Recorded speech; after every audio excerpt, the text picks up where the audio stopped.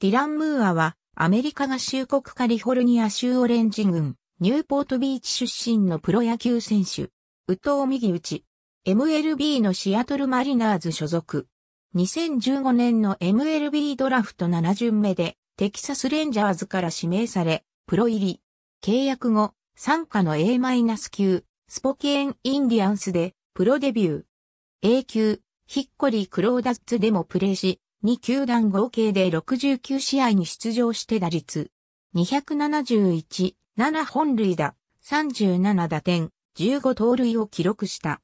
2016年は A 級ヒッコリーと A 級ハイデザートマーベリックスでプレーした。2016年8月25日にトレードでアトランタブレーブスへ移籍した。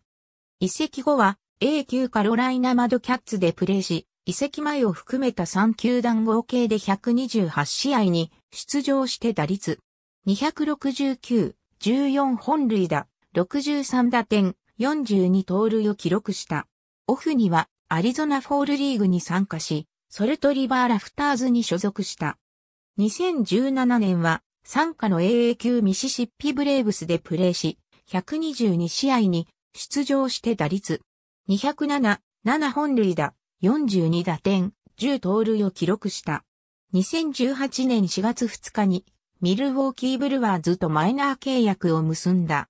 この年は A 級ビロックシシャッカーズとトリプル A 級コロラドスプリングススカイソックスでプレーし、2球団合計で121試合に出場して打率299、14本塁打、58打点、23盗塁を記録した。2018年11月9日、メジャー契約でシアトルマリナーズへ移籍した。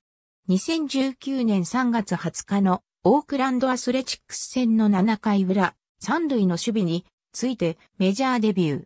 8回表の初打席では、死球で出塁の後、2投を決めた。ありがとうございます。